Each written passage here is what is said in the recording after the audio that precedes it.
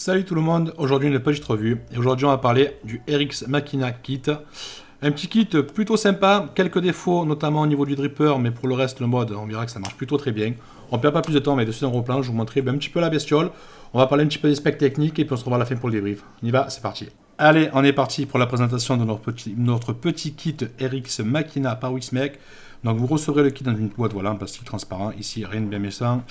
La désignation by Jebo, puisque c'est le designer, ça on le sait depuis le temps. Quelques informations sur le contenu du package ici à l'arrière. Un petit scratch code pour aller vérifier l'authenticité sur le site de Wismec, et puis pas plus. On va passer à ce qui nous intéresse, donc l'intérieur du kit.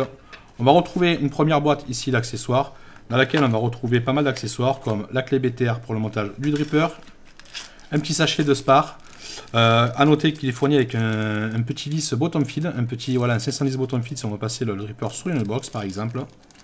Euh, également fourni avec euh, une paire de coils fuse que j'ai déjà utilisé sur autre chose de toute manière, puisque le dripper, on va le voir par la suite, ça vaut pas le coup de le monter, il est pas terrible. Et un petit pochon voilà, de coton. Donc un petit kit, ma foi, plutôt pas mal. On va retrouver également notre petit mode que voici. Et un dripper qui est exposé hop, dans la boîte en pièces détachées. Et je vous montrer un petit peu de quoi ça s'agit. Alors, donc le dripper, le voici. Première chose à faire, ben, ça va être euh, déjà ben, de le remonter. Non, ça va être surtout de faire un point. Hop, parce que là on n'y voit que dalle. Allez. Donc voilà, le dripper, ok. La cuve avec euh, les petits clamps de serrage, donc qui s'appelle guillotine, je pense par rapport aussi à son système de serrage. Comme on peut le voir en venant dévisser hop, une vis ici. Les clampes s'ouvrent et je viens les resserrer ainsi de suite. Donc on va pouvoir monter en dual coil. On peut voir qu'on a pas mal de place pour monter des bons gros coils de cochon. Petite cuve pour récupérer le coton en bas. On a une bague ici qui va servir réellement de bague d'airflow. Hop. On va pouvoir la monter d'ailleurs en premier sur notre top cap. En la montant comme ceci, on peut voir que je peux régler mon airflow. Ok, en ouvrant en fermant. Et après, on n'a plus qu'à venir voilà, tout mettre en face de nos, de nos coils et on est prêt à vaper.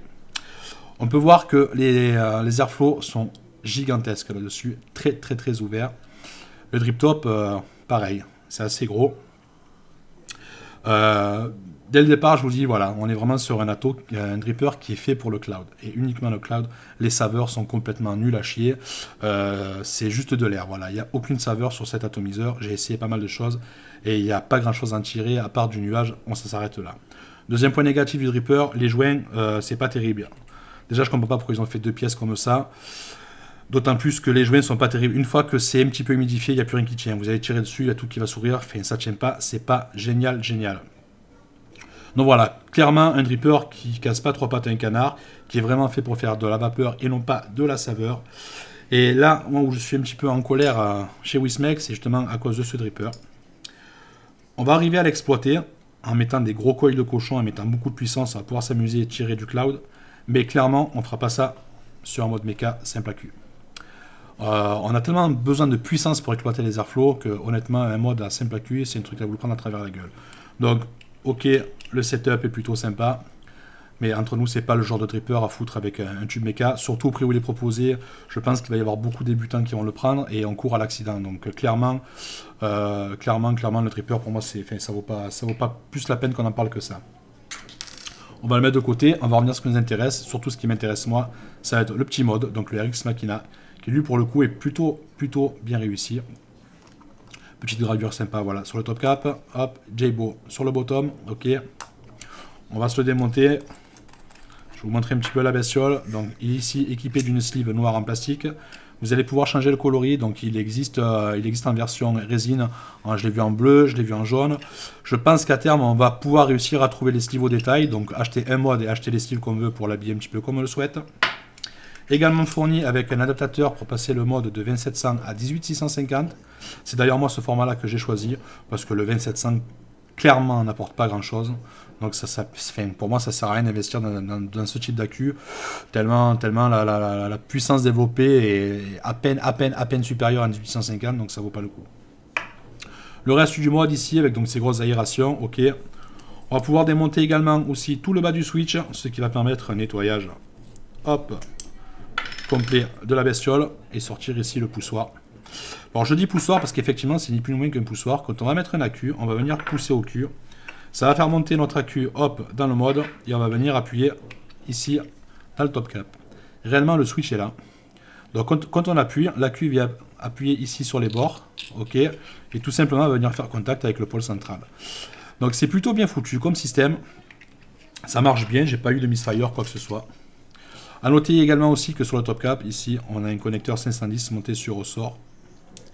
Donc on va s'assurer ben, tout simplement que euh, tous les atomiseurs qu'on va monter dessus seront complètement flush et ce sera fonctionnel et c'est plutôt sympa. Donc pour le remontage, rien de bien méchant.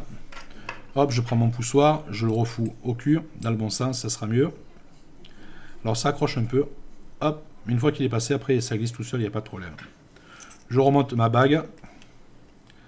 Je serre bien jusqu'au contact. Je prends ma sleeve, je la mets en place, je choisis un accu, donc moi ici je vais partir sur un Sony VTC6. Dans l'adaptateur, je remonte l'ensemble. Alors par contre, voilà, toujours le plus vers le haut. Ok, comme ceci. Et je remonte mon top cap. On n'a plus qu'à se choisir ben, tout simplement un atomiseur pour faire, pour faire fire. Donc je vais vous montrer par exemple ici avec mon Hydrabit ce que ça peut donner. Donc l'Hydrabit est en 24, je vous rappelle que le mode est en 25, ça fait un setup plutôt pas mal. Niveau réactivité, c'est sympa aussi.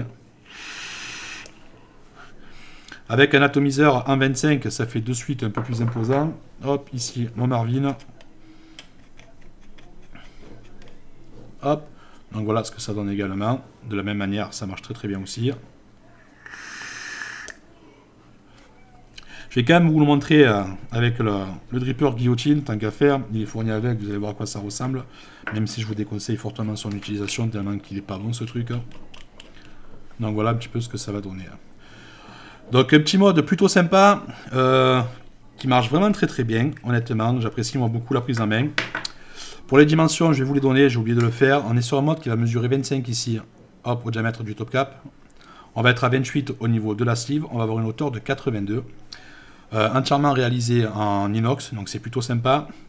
Ici, à la base, c'était couleur, euh, couleur laiton. À force d'appuyer, ça s'est décoloré. Donc je pense qu'on est sur un simple... Euh, je sais pas si c'est si c'est vraiment du laiton ou si c'est de l'inox qui a été anodisé. Une connerie dans le genre. Vous pouvez voir la différence de teinte. Ici c'est jaune, ici c'est blanc. Donc à force d'appuyer, ça c'est pas, c'est pas très très grave. Donc, euh, ouais, un petit mode sympa. Je trouve qu'il, pour le coup, est bien construit, bien foutu. On va seulement regretter ben, l'impossibilité finalement de, de, locker le switch. Parce que voilà, il n'y a, pas de, a pas de lock switch là-dessus. Donc, euh, la commande est quand même assez ferme. Donc, je pense pas qu'on ait de risque euh, de faire, de, de switcher sans le faire exprès. Mais voilà, concrètement, moi je le mets dans le sac. Je vais bien le dévisser parce qu'on peut voir que la course est quand même assez longue. On arrive à switcher. Donc, voilà. C'est un petit peu dommage, ça va être vraiment le seul défaut qu'il y a, c'est qu'il n'y ait pas de, pas de switch sur le, sur le mode. Euh, pas grand chose à dire de plus, on va se retrouver bah, écoutez, bah, pour, le, pour le plan large et pour le débrief. On y va Allez, c'est parti. Bon, vous l'avez vu, un petit kit, ma foi, plutôt sympatoche. En termes de tarot, on va le trouver un petit peu à tous les prix. Voilà, sur les sites français, moi je l'ai vu à partir de 55 euros jusqu'à 65 euros à peu près. Euh, il existe le mode seul vendu pour une quarantaine d'euros clairement, c'est vers ça que je vais vous orienter. Vous faites pas chier à prendre le kit avec le dripper parce que le dripper vraiment il est merdique, il est vraiment pas bon. Il est pas bon parce que parce qu'il a pas de saveur. Il est pas bon parce que parce qu'il n'y a pas de cuve. Il est pas bon parce que les joints sont vraiment merdiques, il n'y a rien qui tient. Et en plus, je trouve, allez, pas dire dangereux parce que j'abuserai un peu, mais clairement, voilà, on est vraiment sur un dripper qui, est fait pour mettre un maximum de puissance et le proposer avec un, tube simple à cul, je trouve ça un petit peu débile. Euh, voilà, tout ce que j'ai à dire. Clairement, ils auraient vendu ça avec une box qui fait 200 watts. Ouais, ok, c'est bon, c'est fait pour s'amuser, pour faire du clad, pour s'éclater, pas de problème. Le mettre avec un mode, euh, avec la, la dangerosité qu'on peut connaître sur un mode mécanique, si on fait un petit peu n'importe quoi dans son montage, tout ça, honnêtement, je trouve ça très très limite. Ce n'est que mon avis, après voilà, vous ferez le vôtre. Quoi qu'il en soit, moi je vais vraiment vous orienter vers le, tube seul, parce que le tube vaut vraiment le coup. Euh, on n'est pas sur un Gus, on n'est pas sur un Demas, on n'est pas sur ce que vous voulez. Mais ça fait un petit setup vraiment compact et vraiment sympa et qui marche plutôt pas mal.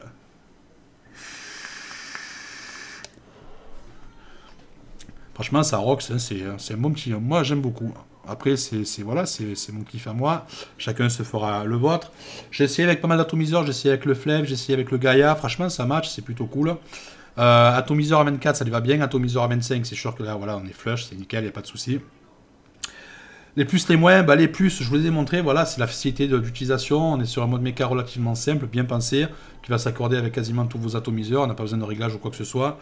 Les moins, ça va être ben voilà, l'impossibilité de loquer le switch. Ça, c'est pour moi, c'est un gros, gros, gros défaut.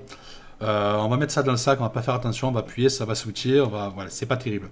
Un vrai switch lock aurait été, je pense, un plus sur, ce genre de, matériel. Et le gros, gros point noir, encore une fois, c'est ce dripper. C'est vraiment, euh, voilà, faire un petit clin d'œil à Mars, c'est de la merde clairement. Qu'est-ce que je pourrais vous dire de plus? Pas grand-chose. Euh, s'il vous plaît, vous allez l'acheter. S'il vous plaît pas, ça c'est comme d'habitude, vous gardez votre argent.